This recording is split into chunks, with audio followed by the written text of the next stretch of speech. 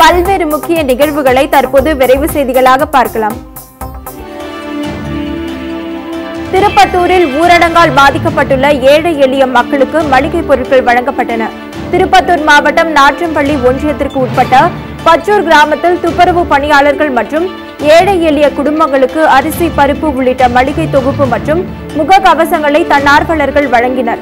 இந்த நிகழ்ச்சியில் நாற்றம்பள்ளி வட்டாட்சியர் மற்றும் காவல்துறை ஆய்வாளர் இருதயராஜ் கலந்து கொண்டார்.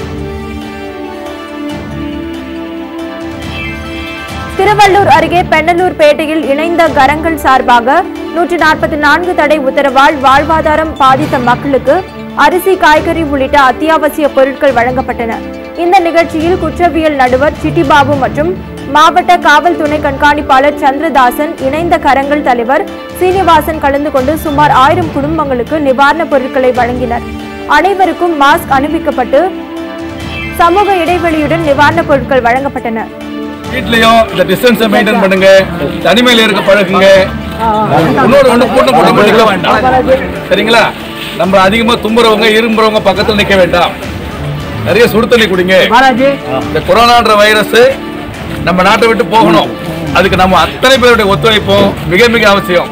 இதுக்கு முக்கியமான சமாச்சாரம் என்னன்னு கேட்டீங்கன்னா தனித்திருத்தல். அதுதான் முக்கியமா இதுக்கு பெரிய ஒரு மருந்து. நன்றி.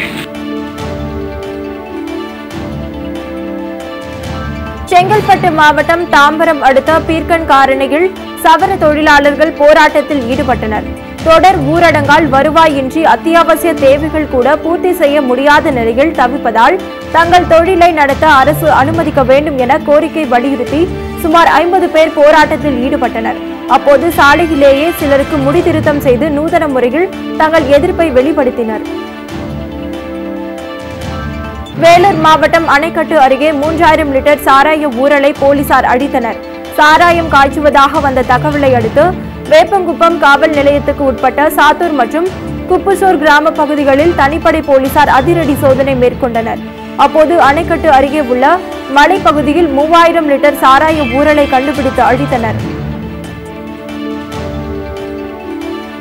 செங்கல்பட்டு அருகே அரசு ஊழியர்கள் முகக்கவசம் சமூக இடைவெளி இல்லாமல் பேருந்தில் பயணிப்பதால் தொற்று நோய் பரவும் அபாயம் ஏற்பட்டுள்ளது.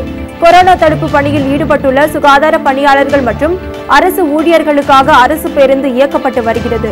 இந்நிலையில் அரசு பேருந்தில் பயணிக்கும் அவர்கள் சமூக இடைவெளியை பின்பற்றாமலும் முகக்கவசம் அணியாமலும் செல்வதால் கொரோனா தொற்று பரவும் அபாயம் ஏற்பட்டுள்ளது. நீலகிரி மாவட்டம் குன்னூரில் உள்ள தமிழக அரசுக்கு சொந்தமான தேண்டி தேயிலை தொழிற்சாலையில் பணிபுரியும் தொழிலாளர்கள் தர்ணா போராட்டத்தில் ஈடுபட்டனர். பல ஆண்டுகளாக பணிபுரிந்து வரும் தொழிலாளர்களை பேண்டி நிர்வாகம் திடீரென பணியிட மாற்றம் செய்து வருவதாக அவர்கள் குற்றம் சாட்டினர். மேலும் அனுபவம் இல்லாதவர்களை பணியில் அமர்த்தினால் விபத்துகள் ஏற்பட வாய்ப்புள்ளது என்று தொழிலாளர்கள் தெரிவித்தனர். வெளியில இருந்து இன்னைக்கு பாத்தீங்கன்னா அந்த லாரியில அவ்வளவு பேரை கூட்டிட்டு வந்து இங்க வேலைக்கு வச்சிருக்காங்க நாங்க என்ன பண்ண முடியும்? எதுக்குங்க நாங்க போகணும் ஃபேக்டரி விட்டு வெளியில? இன்னைக்கு ஃபேக்டரி வேற வேற இடத்துக்கு இலை வேற இடத்துக்கு வேலைக்கு போய் இலை போகுதுனாக்கா சரி இங்கே வீட்டு ஃபேக்ட்ரியில் வேலை இல்லை நாங்கள் வெளியில் போய் வேலை செய்யலாம் நாங்கள் செய்யலாம். ஃபேக்ட்ரியில் பன்னெண்டாயிரம் ஏழாம் மேலே இருக்கிற நேரம் நாங்கள் எதுக்கு வெளியில் போய் வேலை செய்யணும்? நாங்கள் இதுக்கு மேலே போக முடியாதுங்க. எங்களுக்கு ஒரு முடிவு வேணும். நாங்கள் இந்த ஃபேக்ட்ரியை விட்டு எங்கேயும் போகிற மாதிரி இல்லை. எங்களுக்கு வந்து ரெகுலராக இலை அரைக்கணும். வாரத்தில் ஒரு நாள் எங்களுக்கு லீவு தமிழக கேரள எல்லையில் குடும்பத்துடன் சிக்கி தவிக்கும் கூலி தொழிலாளர்களை சொந்த ஊருக்கு அனுப்பி வைக்க வேண்டும் என்று உறவினர்கள் கண்ணீர் மல்க கோரிக்கை விடுத்துள்ளனர். மயிலாடுதுறை மாவட்டம் சீர்காழி அருகே எடமணல் புது தெருவை சேர்ந்த நூற்றுக்கும் மேற்பட்ட கூலி தொழிலாளர்கள் கேரள மாநிலத்தில் உள்ள பல்வேறு பகுதிகளில் கூலி வேலைக்கு சென்றிருந்தனர். தற்போது அமலில் உள்ள ஊரடங்கால் சொந்த ஊருக்கு திரும்ப முடியாமல் அவர்கள் தவித்து வருகின்றனர். அவர்களை மீட்க அரசு நடவடிக்கை எடுக்க வேண்டும் என்று வாட்ஸ்அப் வீடியோ மூலம் உறவினர்கள் கண்ணீர் மல்க கோரிக்கை விடுத்துள்ளனர். ஐம்பது அறுபது பேருக்கு மேற்பட்டவங்க வந்து கேரளா வந்து கல்ல இருக்க செங்கல் சூளைக்கு வேலைக்கு போனவங்க வந்து சாப்பாட்டுக்கு வழி இல்லாமல் இருக்க இடத்துல அவங்க மழையும் வேற நிறைய மழை அங்கே.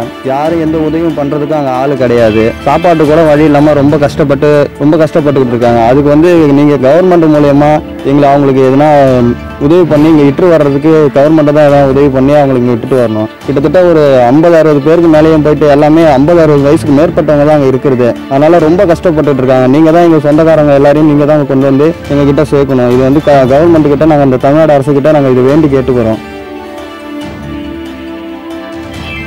மயிலாடுதுறையில் பொதுமக்களின் கூட்டத்தை கட்டுப்படுத்த கடைவீதி மற்றும் முக்கிய சாலைகளில் இருசக்கர வாகனம் மற்றும் நான்கு சக்கர வாகனங்களுக்கு தடை விதிக்கப்பட்டுள்ளது.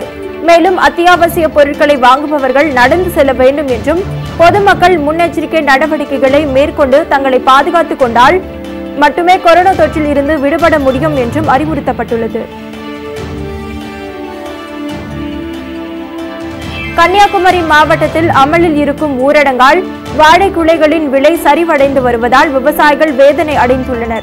குமரி மாவட்டத்தில் விளையும் வாழைக்காய் மற்றும் பழங்களுக்கு தனி சுவை உண்டு. குறிப்பாக நேந்திரன் வாழைக்காய் சிப்ஸ் ஆ- ஆசிய அளவில் புகழ்பெற்றதாகும். இதனால் வெளிநாடுகளுக்கும் அதிக அளவில் ஏற்றுமதி செய்யப்படுகின்றன. இந்நிலையில் ஊரடங்கால் வெளி மாநிலங்கள் மற்றும் வெளிநாடுகளுக்கு ஏற்றுமதி தடை செய்யப்பட்டுள்ளதால் எண்பது ரூபாய்க்கு விற்கப்பட்ட ஒரு கிலோ செவ்வாழை தற்போது நாற்பது ரூபாய்க்கு வீழ்ச்சி அடைந்துள்ளது.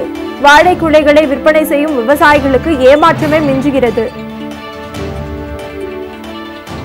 ராமநாதபுரம் மாவட்ட ஊரக வளர்ச்சி அலுவலர்கள் சங்கம் சார்பில் கருப்பு பேட்ஜ் அணிந்து உள்ளிருப்பு போராட்டம் நடைபெற்றது. ராமநாதபுரம் மாவட்ட தமிழ்நாடு ஊரக வளர்ச்சி அலுவலர்கள் சங்கம் சார்பில் தமிழகம் முழுவதும் கொரோனா வைரஸ் தொற்று தடுப்பு நடவடிக்கையில் பணிபுரிந்து வரும் சூழ்நிலையில் தங்களுக்கு ஊக்கம் அளிக்காமல் ஊதியத்தில் டிஏ சரண்டர் ரத்து செய்தது கண்டிக்கத்தக்கது என அவர்கள் தெரிவித்தனர்.